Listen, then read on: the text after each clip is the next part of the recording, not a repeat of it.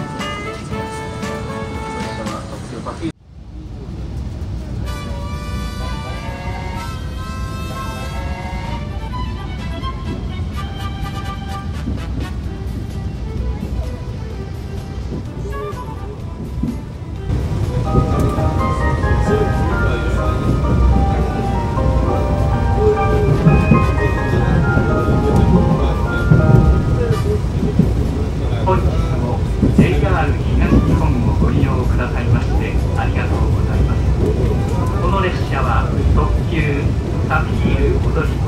4号東京行きです途中横浜品川に停車いたします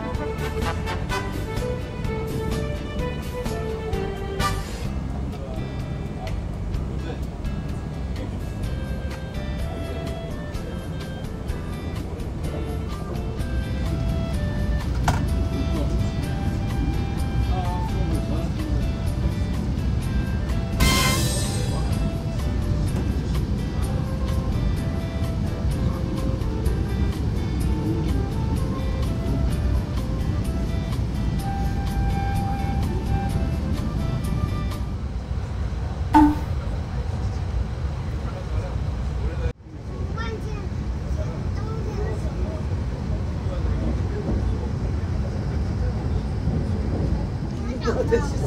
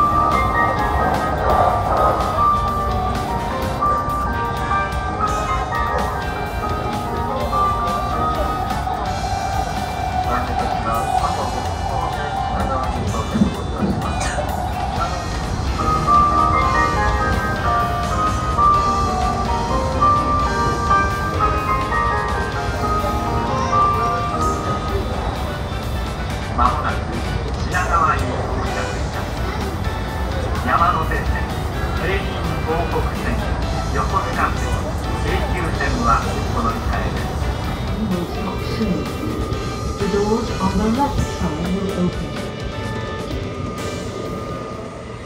アが開きます